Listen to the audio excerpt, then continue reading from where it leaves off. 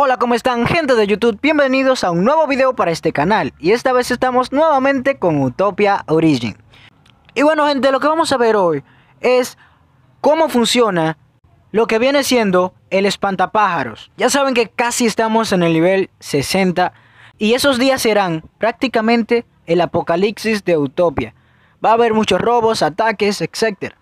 Así que un amigo me invitó a que probara su sistema de seguridad de espantapájaros. Bueno, esa es la oportunidad de yo empezar a hablar de lo que viene siendo las trampas para que ustedes vayan más o menos preparándose para lo que viene.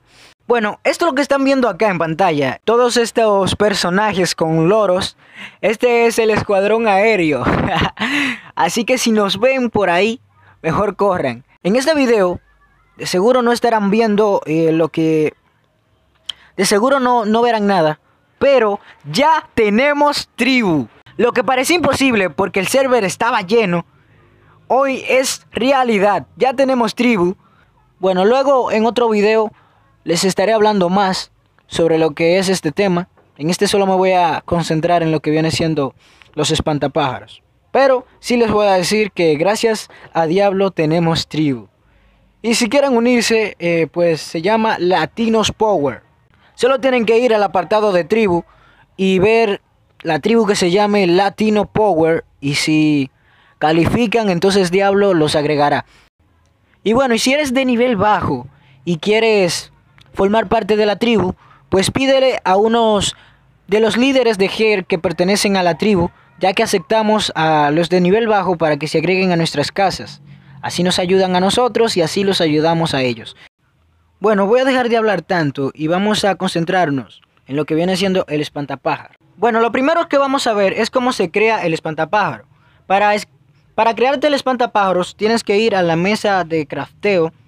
Allá vas a ver lo que es el Scarlet Chrome, que es el espantapájaros, que se crea con 40 de madera, eh, dos tendones, le digo así, no sé cómo se llamen.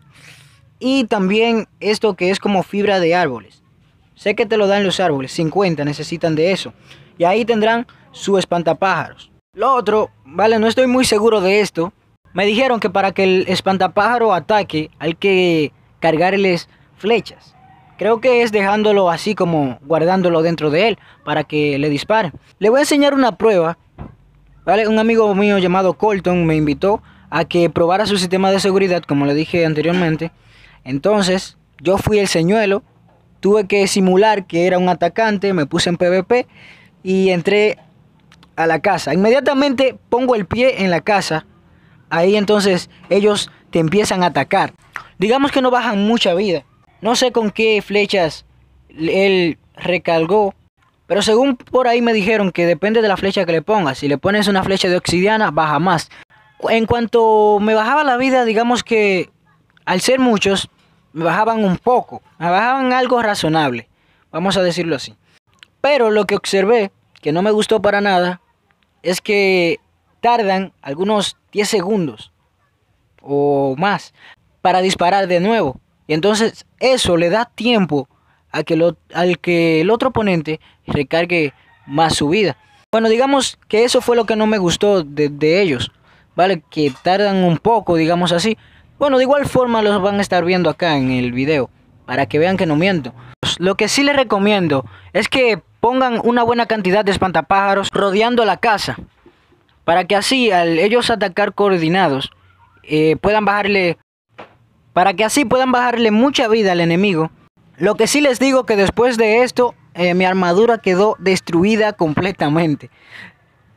Cuando me fui a ver al inventario, y me fui al apartado de la armadura, vi que ya estaba, me faltaba un poquito para que me la quitaran. Bueno, en conclusión, los espantapájaros son buenos. Si estás empezando, lo puedes poner en tu casa, una cantidad bien elevada, para que pueda destruir a alguien de nivel 50, porque yo creo que sirve más para personas que son de bajo nivel. Si alguien de nivel 30, creo, por ahí, te quiere atacar o algo, pues los espantapájaros serían buena opción. Pero creo que para uno de nivel 50 en adelante, bueno, no sería un impedimento de que él entrara a su casa. Pueda que le baje vida, te ayudaría Eso sí que si mientras los espantapájaros lo, lo atacan y tú, y tú lo golpeas con algo, pues ahí tienes ventaja. Bueno, ya con esto conoces lo que es el espantapájaros, para qué sirve y si es beneficioso para ti, sí o no. Bueno, como le dije, en... pienso que en otro video estaré hablando sobre los avances de la comunidad y cómo conseguimos la tribu. Y también estaré probando el CC Valor, creo que así se llama. El barco ese que es de oro. Me lo está genial. Con él pude desbloquear lo que es el mapa completo. Porque es bastante veloz. Nos tomaría un año ir en Valquita. Así que en ese fue bastante rápido. Gracias man por prestarme el barco. Y nos vemos en un próximo video.